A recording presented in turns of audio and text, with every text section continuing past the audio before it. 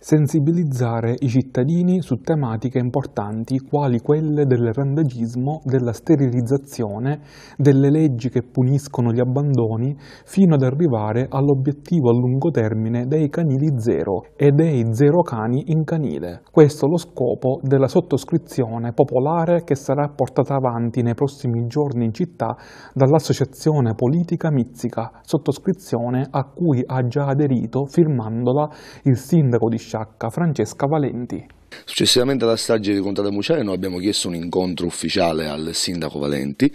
questo incontro c'è stato, è stato un incontro propositivo, un incontro importante dove abbiamo analizzato tutte le proposte che abbiamo messo sul tavolo dell'amministrazione. Il sindaco si è dimostrato d'accordo con questa riforma strutturale impegnandosi in tal senso, tanto che ha scelto di essere il primo firmatario di questa, di questa sottoscrizione eh, popolare. E la prossima settimana partirà questa sottoscrizione, eh, avrà un, una funzione importante di sensibilizzazione eh, riguardo a queste proposte eh, nei confronti della gente, saremo nei luoghi di lavoro, saremo nei luoghi di incontro della città perché informare la gente di questa riforma strutturale, eh, ricercando una condivisione piena nel tempo, è una cosa per noi fondamentale. Eh, la cosa importante è che la gente cominci a conoscere i reali motivi di questo fenomeno e a condividerne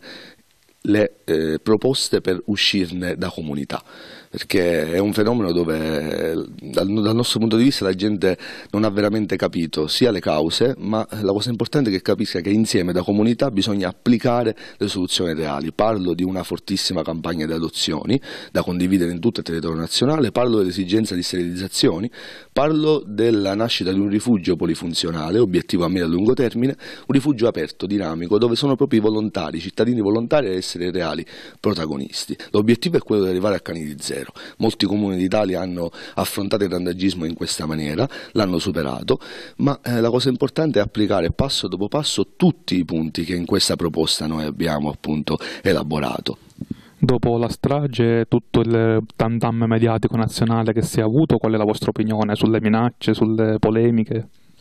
Ma eh, sicuramente è stato un episodio che eh, non ha fatto assolutamente bene alla città, poi quello che avviene all'interno dei social network molto spesso è un'amplificazione dal mio punto di vista di malumori, di malesseri, di giudizi negativi. Sicuramente la vicenda non ha fatto bene a nessuno, dal nostro punto di vista ne usciamo bene, ne usciamo da comunità, non sbandirando il fatto che a priori Sciacca è una città civile, questo penso che nel 90% dei casi sia un elemento sottinteso. Ne usciremo bene se riusciremo a dimostrare che nel tempo abbiamo raggiunto un equilibrio positivo nel rapporto tra uomo e animale. Noi dobbiamo dimostrare a tutti di